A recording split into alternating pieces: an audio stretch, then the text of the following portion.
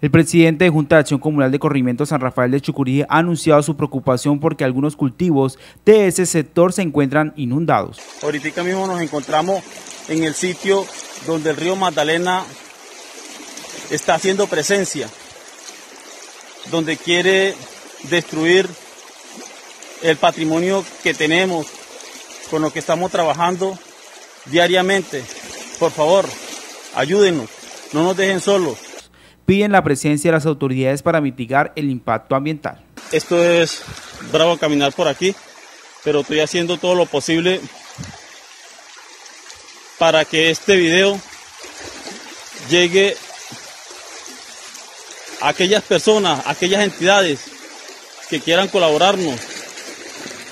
De esta ciénaga dependemos más de 400 familias expresa que el río Magdalena ha llegado a gran parte de las veredas del San Rafael de Chucurí y espera que gestión del riesgo valore los daños que puedan ocasionar.